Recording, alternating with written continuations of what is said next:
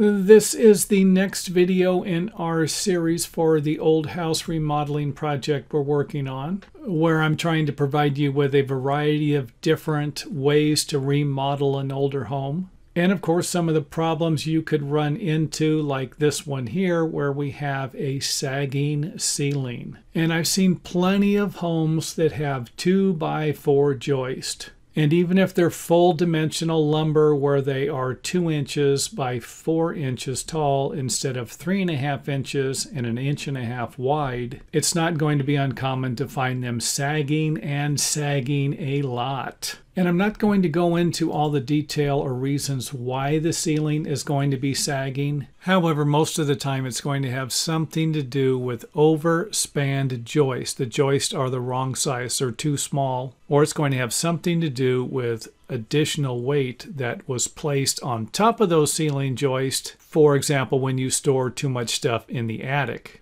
So let's go ahead and start with my first suggestion, and that would be to install larger joist. And this can usually be done by removing one at a time and replacing it. Because the last thing you want to do is remove all of the joist and then have your building fall down. So one at a time if you can.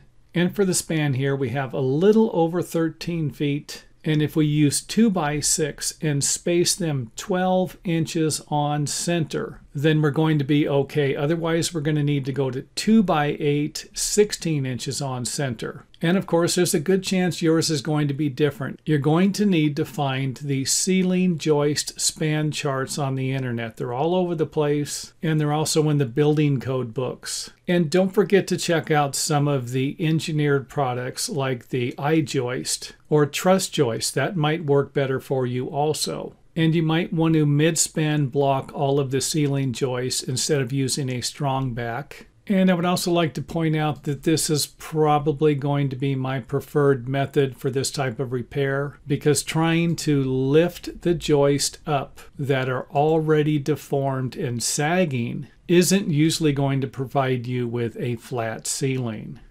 My second choice on the list will be to install a full length beam, and you might need to check with a structural engineer to figure out what the size of this beam is going to be and how that beam will be supported with a post and are you going to need an additional footing? And if so will you need a footing at the other end also? And you might be able to reuse the ceiling joist because you've just cut the span of the ceiling in half which might allow you to save a few dollars, along with using pressure blocks instead of hangers. And these are simply going to be blocks that will be fastened to the beam, and then you will toe nail the joist to attach the joist to the beam along with a view of the post. And again, the footing would go underneath this post if additional support is going to be required. So this would be my preferred method number two. And I'm not even going to add this one to my list because I've never seen a detail for this from a structural engineer. And I'm not about to suggest that you can't do this because I've seen it done before on a couple of projects I inspected. And on one of those projects, it was for a friend of mine and they wanted an opinion. And I don't think they really liked what I had to say, but what I suggested was to simply inspect the area regularly. And one of those inspections would be to make sure that the ceiling isn't sagging or cracking. However, if it was starting to crack, then you might need to address the issue then.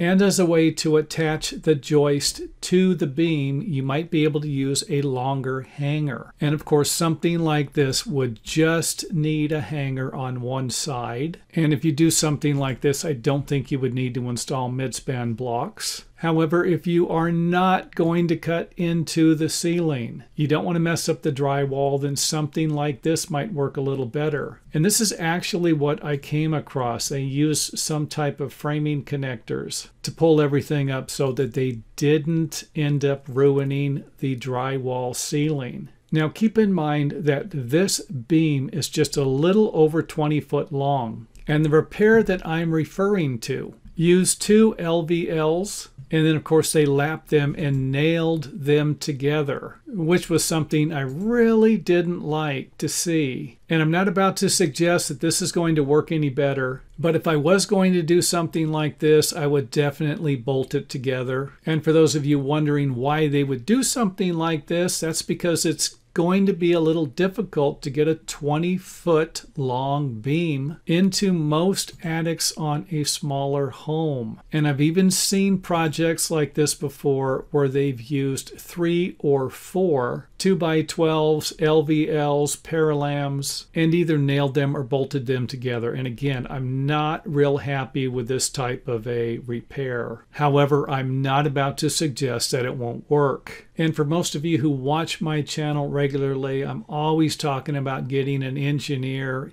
engineering on this, engineering on that. I'm not 100% convinced, even though an engineer might not use this, that it might not do the job that you're trying to get it to do. And last on the list, I need to point out that if you're dealing with deformed lumber, and this would be lumber that is sagging, that when you do pull it up in the center, that all you might be doing is straightening out the center of the ceiling. However, you could still end up with a sagging point point going from the wall to the beam and then again from the beam to the other wall. And I kind of drew it in here to give you an idea of what it might look like if you can see it. If not, let's go ahead and take a look at a joist I pulled out. So the original joist might have one long sag in it. And then when you pull it up in the center, you might end up with another sag going from point to point